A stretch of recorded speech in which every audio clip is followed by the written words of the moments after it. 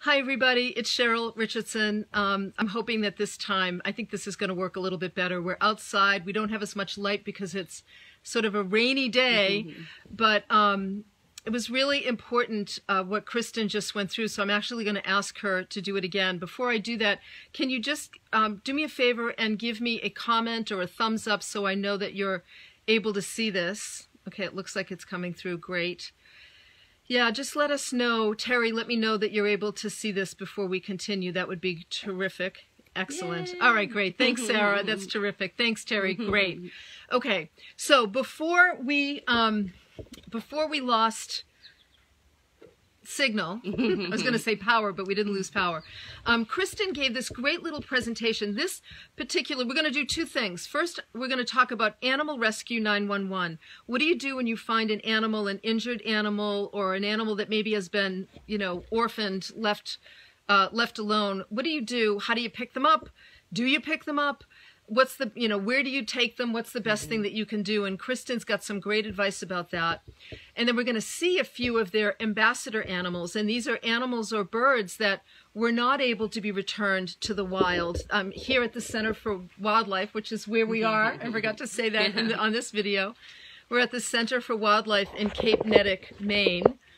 Um, here they take in over 2000 animals a year mm-hmm. and they do they really perform miracles and for the most part they do their very best to return animals and birds to the wild they can't always do that and then sometimes they retain certain animals as ambassadors to teach people to give them good lives mm-hmm. and then to teach people about wildlife so that they'll take good care of um, the, what they find in nature right. so Anyway, so you're going to get to see some of the ambassador animals, and then we'll take some of your questions uh, about just caring for wildlife because mm-hmm. I know we all tend to come across a turtle or a bird or whatever. Hi, Donna. I'm glad mm-hmm. you're here, and Lisa and Laura. I'm glad you're all here. So, Kristen, can we start? I'm going to turn the camera to you and just hi. say hi to everybody. Hi, everyone. I'm the executive director at Center for Wildlife. Thanks for being with us. Thank you. and um, yeah, can you? Um, so, can you just let people know what do we need to have like in our car mm-hmm. in order to best handle an animal or a bird that we might find on the side of the road right and so we are sharing that uh, yes about 50 51% of the animals that come to us um, have been hit by cars or found in the road mm-hmm. so a good um, kind of general rule is that if you can approach a wild animal um, and it doesn't run away or fly away or, or try to get away from you, it needs help. And, and many times it's very obvious when an animal is struggling on the side of the road or has like a wound or, you know, can't balance itself, mm-hmm. that it definitely needs um, help. So, does that mean that if an animal does fly away or does run away, that you should leave it alone? Um, in that case, I would probably call a wildlife rehabilitator okay. and kind of describe the situation. There's a lot of questions we can ask okay. about age or circumstance or how they're holding their wings. Are they squinting an eye? Yep. So sometimes they might, just like us, you know, if we had a sprained ankle or something, we might be able to limp off the trail so that we can get somewhere. But it doesn't necessarily mean um, that they don't need help completely. But it's just when it's very obvious that you need sure. to take action is when they um, don't try to get away from you. And the the one exception, which we can get into when we show our young little friend here, yeah. is um, during nesting season. Uh, many wild animals are just um, birds can't fly when they first come out of the nest and leave their nest. They're building up flight muscles. They are gaining coordination. So in those cases, or young squirrels when they first leave, um, they're very curious and they might kind of walk up to someone and not run away. Or mm-hmm. we've heard people say that um, you know squirrels have climbed up their jeans or something. Mm-hmm. So, um, so during nesting season, you want to be aware about whether it's a young animal because we don't want to intervene and take them out of nature or away from their family if nothing's wrong. So, so if somebody finds a baby bird on the grass, let's say in their lawn, mm-hmm. they shouldn't touch them. Right. I think the best thing to do is, you know, look for an obvious, and when we say obvious injury, it's like if you're seeing blood, if they can't stand or hop, if if something's broken or hanging. Mm-hmm. Yeah. Um, but otherwise, yeah, this is nesting season, and it goes Mm-hmm. from April through uh, the end of September, October, and just um, give give good space and watch for parents. And if parents are coming down to the ground, it's totally normal and part of their development, um, especially if they have feathers. If Yeah. they're completely naked Mhm. and they're on the ground in the middle of the grass, um, that's way too young to have left the nest. So something happened there. Yeah. Mm-hmm. But if they if they look like a, um, an older bird or they they're fully feathered, um, they're just kind of uh, young and not running away from you because they're Yeah. just inexperienced. Um, that would be the Yeah, and if they are naked, um, I know I've found like Mm-hmm. little pink babies before and put them back in the nest. exactly. And the mother has come and the mother has taken care of them, Yes. contrary to what most people think. Right. So that's so important, Cheryl. Uh, that is an old um, a myth. I don't want to say old wives' tales because wives get blamed for giving misinformation, but it was a myth that probably helped um, young, you know, young people not go out and touch and mess with wildlife. But um, besides our turkey vultures, um, birds do not have a great sense of smell, and even if they're mammal moms, um, they spent you know, all of winter getting themselves ready to be able to give birth. Um, they put a lot of time and effort into making their nest Mm-hmm. and incubating their eggs, so they will not reject a baby because of, of smell of humans. Okay, great, Mm-hmm. great, awesome. Yeah. So yeah, so the, some of the things we should have in our Right. car. So these are um, These are the tools that you want to have, the things you want to have in your Yeah. vehicle so that you can take care of animals. Go ahead. Yep, and we say um, just having this kit ready is 50, you're fifty percent of the way there because if you see an injured animal on the side of the road, um, you're often frantic. They might look like they're in really bad shape, and you're like, "What do I do?" But you get your kit out, so just keep this in your trunk. These are um, just work gloves, the kind with the leather on the outside are great. Um, welding gloves, that I was saying, are great if you feel like you really want to go into big rescues. Um, but even just these, if an animal is dil- debilitated, a pair of gardening gloves like this and a towel are going to keep you um, really safe from most uh, wildlife. And the towel is what to sort of cover the animal and pick them up. yeah, and we can demonstrate that. Sarah can help um, demonstrate that with Ophelia in in a second. Um, but the great. towel is.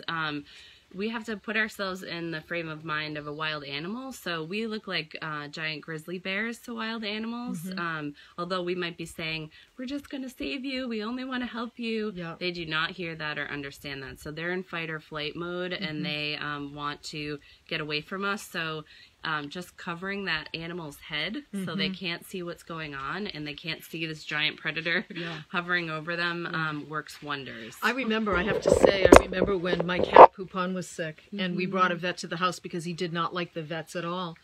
Um, and he was he was furious, like he just. But the minute she put a blanket over his head, he calmed right down. And boy, I thought I had ne- I never knew that that was so important, like such an act of self care for an animal to cover their head so that they they don't see you and they're they don't they're not as frightened. right. Great. So you're going to have the gloves, the So towel. the gloves, the towel, and then um, this is you can buy these um, I love this. cardboard boxes. Yes. Look at um, this. cardboard carriers at Petco. Um, they actually flatten, so you can keep it flat in your trunk. It doesn't Yep. take up a lot of room. There we go. and then you can just pop it right back up together. They're pretty cheap. I think they're like twenty dollars. Awesome. Um, cardboard is definitely the safest material for a wild animal. They can't thrash, break feathers, um, or injure themselves against that soft cardboard. So Oh, good. So, so a hard like a, a metal cage, or even like a cat, ca- like a plastic carrier or something, could be damaging to an animal. Mm-hmm. yeah, they can hurt themselves. Mm-hmm. depending on what species they are, how high strung they are, how afraid they are. Yeah. So, and people, um, well-meaning people, sometimes will bring us. Uh, birds that they just put in their old um, pet bird cage because they had that available and um, they have broken feathers. And Mm-hmm. if you think about it too, they're completely exposed in a wire cage. So again, Yes. they're seeing predators. Yes. Okay. Um, great. And then if you don't have a Petco near you, um, this is just a Tupperware, Rubbermaid Tupperware container with Mm-hmm. holes, obviously for breathing, um, poked out, and you can keep something Great. like this in your car too. Great, So great. That's your Rescue 101 kit. Good. Good. Good. So Sarah was going to show us Yeah, what's she going to do. Oh, we're going to Yeah. see. See, we'll see if we can get Ophelia. Actually, I may use this to Okay. give an example of how you can get them in. Yeah. So. I don't know So we're gonna get. So Ophelia is. Yeah, we're gonna turn this. Stay with me, everybody. We're gonna turn this so that you can see Sarah. Oops, hang in there. There we go. Can you see yourself there? Yeah. Oh, look at that. So Ophelia is um, a non-releasable opossum. She came to us um, after she was hand-reared. But many times opossums will be animals that you find um, that have been hit by cars. Um, they're slow. They don't have very good eyesight, um, and so uh, and also their response to stress is to pass out. And so we want to make sure that um, not only the animal is safe, but that humans are safe, and that's a really big deal. So many times, what will happen is we'll go, and the animal may be laying there, and you'll go to help them, and they freak out because you now have, you know, a, an, a predator coming at them, and so they'll react. Or the flip side of that, and we've had this, police officers have come up and come in and said, I have an owl in my car. And we go, great, bring it in. And they go, no, it's in my car. and jeez. it's because they thought it was unconscious. They put it in the car without putting it into a box. And then it wakes up, and then you're in trouble. so, a good example of why you need to carry a box and also why you need to protect yourself. So, I'm going to let Ophelia out. Um, she is completely healthy. Uh, so she may move a little bit more than um, an injured opossum, but the idea behind it is the same. She also is getting fish treats after this, so even though she's going to be like, "What are you doing to me?" She knows that she's doing it to help educate for the rest of her ambassador friends. Want to see So stuff? the Yeah. first, um, I'm going to use my preference in my car is the welding gloves. Um, that's just me. That's because you're probably picking up big well, animals. I pick up, lar- yeah, exactly. Yes. My poor kids. Mom, not again. I'm like, it's okay. Um, This is why I love can, these people because they grab the take care of towel. animals. Yes. Um, and the towel is actually, if you don't have a towel, another thing you can do is like if you have your shirt or your sweatshirt, um, or a blanket or anything like that, um, you can make do right there. But it's a really important part of covering their head. It's just like if you're in a room and the lights go out, the first thing you do is freeze. Um, and so that's sort of what happens with them. So Miss Ophelia, I'm gonna let Should out. I move or stay here? No, you're You can I don't good. want to stay. You should her. be good. Okay, good. Hi, O. Look you at gonna come out? Oh my God, She says, people, "Well, she's don't know if I adorable. want you now. She's adorable. out? She said, I don't want to be on TV. I don't want to be on TV. Come on. It's okay. Are we going to do it? Come on, Ophelia. You want me to Hi, take off the top? Oh, You can take off the top. So it's also, if I take this off, sometimes that will help her decide. Hi. That's another good point about just transporting too. So keeping keeping the um, animal covered, but also keeping the radio off. And if Mhm. you have kids or dogs or other animals in the car, you want to try to keep everyone as quiet as possible. That's why I wear the big gloves. yeah. So another thing with opossums to remember is that they're all I'm not going to say they're all bark and no bite, but it's a lot of posturing and Okay. a lot of noise Yeah. um, out front, which is good because if I were an animal that was coming to eat her, that would frighten me away, Yeah. and I would leave them alone. Yeah. Oh, if you do, She's just perfect to show. There she has is. the teeth. And, are you a good girl? You're gonna get fish treats. Are you excited? You excited? She says, No, not really. How about we come out this way? Mm-hmm. I'm gonna put you on the table so that I can show them, okay? I know. Yeah. We're gonna go right here. Okay. Wow. Good mm-hmm. girl. Look at her.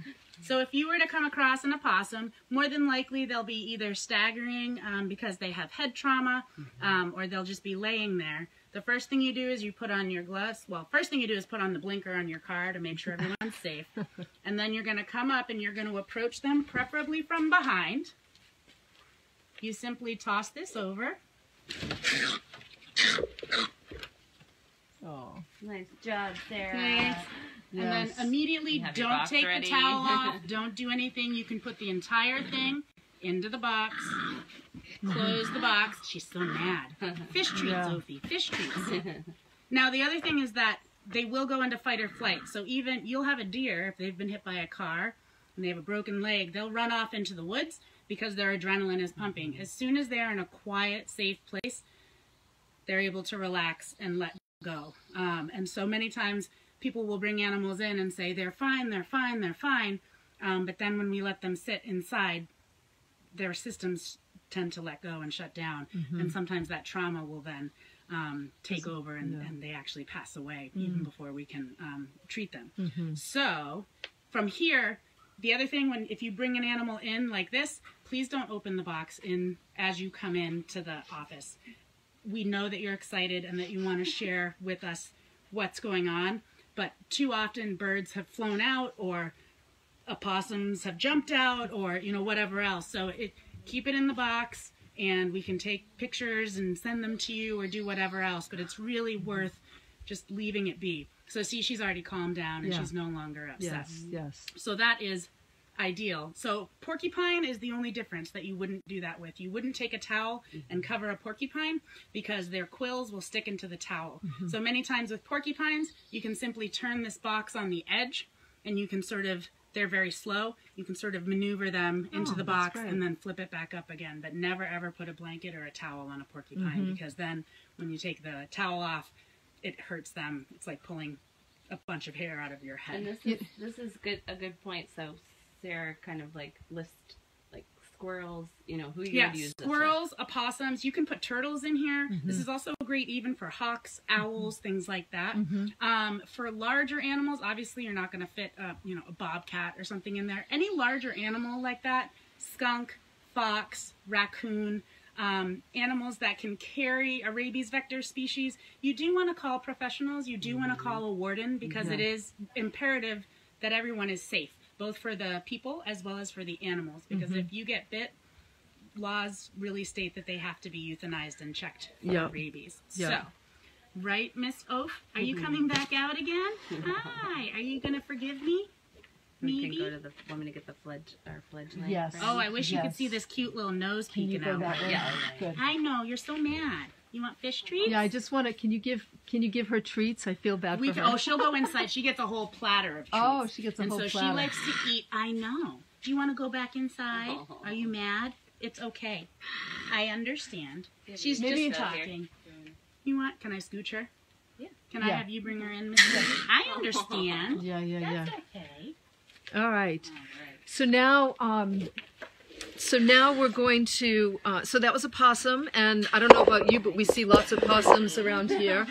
She's mad. The poor thing. I feel bad, but yet she's. She has strong opinions about lots of things, which is really, really good. Okay, We'd good. like bring her out to feed her at the end if you want. If people would feel better. She'll, No, be, no. she'll be. Trust me when I say she'll be. I've learned, you know, by being here at the Center for Wildlife, um, you know, it's funny when you're not ex- an experienced wildlife person, you have all of these reactions that um, really are just reflective of your inexperience. But it's amazing how, I mean, you all have been dealing with wildlife and injured animals for years and years and years, and you know.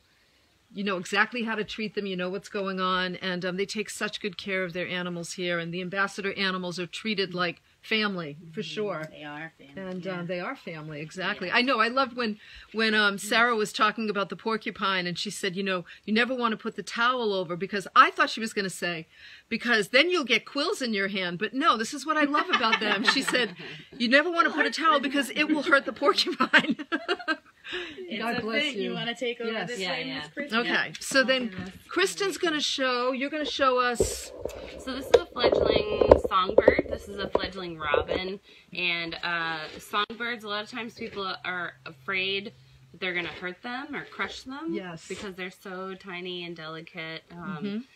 Even our raptors, you know, our, our red-tailed hawks that look so gigantic, they weigh three and a half pounds. They have hollow bones. Um, so people are afraid of that. But this is also a fledgling robin. This is a um, baby songbird that came in orphaned. Um, so she is in with several other new foster siblings. Mm-hmm. Um, We just borrowed her for a second. She'll go back to eating every Yeah. half an hour and being hand fed blueberries and worms. and will she eventually be released Yes, Oh, yeah, that's great. always the goal, like you Yes. stated. Um, this year we might hit 2,200 injured and orphaned wild animals, and the goal is always Wow. to get them back to That's the great. wild. That's Um, great. But sometimes they have permanent injuries or they've been Mm-hmm. Tamed by well-meaning uh, members of the public, like Ophelia. Mhm. Um, so this is a fledgling robin, and I'm going to show you some telltale Oh, look at 'em. signs. Cute. which Yeah, I should have gotten uh, you mind grabbing a blueberry or something? Uh, but yeah, I'll go get it. Yeah. Yeah. Um, okay, so we can see that this is a fledgling. Um, do you see the, we call them kind of old man tufts on top of the head? Yes, yes. So that's um, the downy fuzz. So this is typically when they would leave the nest. Um, they their uh, feathers are kind of stubby, so they're Mm-hmm. not long and spelt like adults, and um, they really can't fly at all. So this is what we were talking about. You know, as a general rule, if an animal can't fly or get away from you, it might need help, but that kind of goes out the window during nesting season for babies. So, um, robins too. I think I love. They have little freckles Beautiful. when they're yeah. young. Like Um, little beautiful freckles. so he's learning, or she's learning to perch. Um, so if you saw one of these on the ground, um, you would definitely just look. You know, she is holding everything perfectly. There's nothing drooping. Her eyes aren't squinty. They're clear. Um, she'll probably beg yeah. Yep, yeah. um, inside of her Oh. mouth. There's no blood or anything, so she's beautiful. So in that case, you would just um, give space and make sure there's no pets, dogs, cats, um, kids around, loud music, and just make sure parents are coming down to feed. Yeah. Um, this will just be really cute to see Okay. how they eat blueberries. Oh, I didn't know they love blueberries, huh? Yeah. Mm. Oh, wow. You want more? Yeah. Oh, so obliging. You gonna take another one? Like, listen. Those are the uh, Yeah. wood fro- uh, Treat. tree frogs. I hope you all can hear the tree frogs. Oh, All right. So Beautiful. on this this bird would be on the ground, um, maybe flapping its wings like this. So you just take your two fingers. This is called a, a bander's hold. You just put your after bird banders. So two fingers like this, um, and then you can just hold around the body. And for for most birds, um, even with raptors, and we'll do that with gloves. You want to give them um, that place to have their feet. stand, Otherwise, yep. they're flailing and they feel out of control. Yep. Um, so just giving them that cozy little Mm-hmm. place to put their feet, they feel secure, and that's it. So you. Mm-hmm. can hold pretty tightly. Um, but remember too, people are like, "Oh, I don't want to hurt the animal," but I know. I was Um, thinking because I, I I was you gonna wanna try it, Well, no, I was gonna say yes. Try but it, then- try it. All right, but I'm nervous about it because I don't want to hurt it. Oh, Oh, she says, feed me. Perfect. oh yeah, yeah. you're a natural. yeah, Oh, that's easy Yeah. enough. So can you can you see her? Look. Do you see my old Oh, man here? look! Can you see my old man hair? Look, see little tufts. So good looking. Look at that angel. Wow, that's great. So just the two fingers over, and then I'm holding her little Mm-hmm. feet. And see how she stops struggling when you give Yeah. her that firm. Yeah, totally. So she feels really held by me. You can tell she feels safe that way. That's Yeah. awesome. And it also protects her from hurting her wings. or her exactly. legs. So that's the thing. If you're holding them securely, you're keeping yourself safe, but you're keeping them safe too. Yes, So yes. if you were loose and they could flail about and they had an injury, they could really do more damage if you didn't have a good Great. secure hold like that. So, Good. thanks, Thank you. That's awesome. That's Yeah. awesome. And I got blueberries. All right. Well, so I know we have to wrap up because the time is. What else do we have? We have an owl. Okay, we have an owl. So I'm gonna. We have to. I. I want you to see. This one I Um. can do quick. Oh, did you? I hope you saw the bird. Yes, you did. Okay. Can you step up? Um, I know, you know, we're outside and we've got bad weather here, so every now and then it flashes low connection. Um, but hopefully, I'm glad it's coming back on. That's great. I hope you got to see the little bird, and um, we're going to finish with an owl. I want you to see. Uh, is, this is oh my God! Wait till you guys see this, Mom. I know my mom is on here watching. Mom, I'm bringing you here, and wait till you see this this owl. So can you come right over here, Sarah, so that you get nice and close so people can see. All right, let's see. Look at this little angel. Come here, Lady Willow. Who's Look that at that. good looking lady? She says, Oh, Hi, Cheryl. How's it going? Hi. She says, I'm a talker. So, Lady Willow is our Eastern Screech Owl ambassador. You can see she is missing her left eye. She was hit by a car. Oh. Um, so, again, if you were to approach a bird like this on the side of the road, you would take the towel, gently throw it over. The thing we tell people to watch for raptors is two things. You want to know where their beak is, and you want to know where their feet are. And once you have that, you're good to go. So, mainly, if the towel is covering them, then you know where the head is, and that's covered. And then what you would do, can I borrow your feet? I know you're going to be very angry. Good girl. Oh, good job, darling. I know. I know. Sarah, how long have you been doing this? Ah, since 2000, I Yeah, guess. Yeah, so 18 years. I can tell you're like, Hey, What are you doing? So you would be holding the wings. Again, if I had the towel over, like I said, I should have. Sure. Um, you'll hold the wings like this, and then hold the feet separately. Yep. Then from there, you would take that bird, like she was in the towel, put her in the box. Again, don't take the towel off Yes. because that's when they fly out. Yep. Um, we would prefer people to wait to take selfies with the bird until later. Yeah, please um, don't take just don't, take they selfies don't with the birds. good. You wouldn't go into a hospital and take a selfie, so try not to do that. And you can see when she's down, um, Look at she's that. down. She says, "My name is Willow, and I yeah, am." look at that. We call her a flying pillow of hate sometimes. Hey, Willow. She says, I'm very feisty. Are you Yeah. so good? And so from there, you would bring them in, and then we would um, assess them. I'm going to flip you back up, okay? Yep. Great. So, okay, so again, and I hope you could see. That's great. Oh, and she pooped Um, for you. and she pooped. She says, I do that a lot. That's okay. We don't mind. We'll we'll take a little poop from you. You're beautiful. She says, I poop and pee at the same time. It's very effective. So you you put the towel. You would throw. You would approach them, throw the towel over them.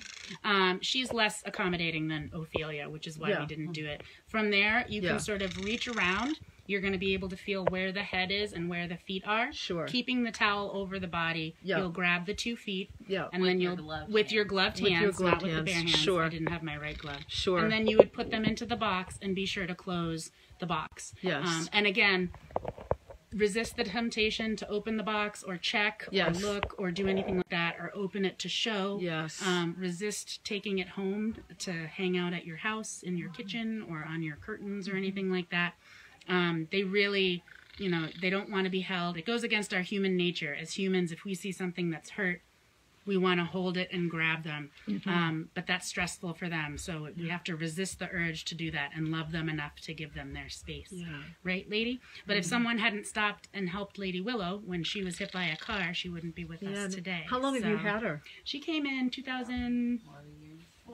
Wow, she's been Yeah, here four years. 2014. Wow, that's awesome. Um, and we're in the process of trying to find her an enclosure mate or 2 Huh, lady? Oh, Will you have a good. friend?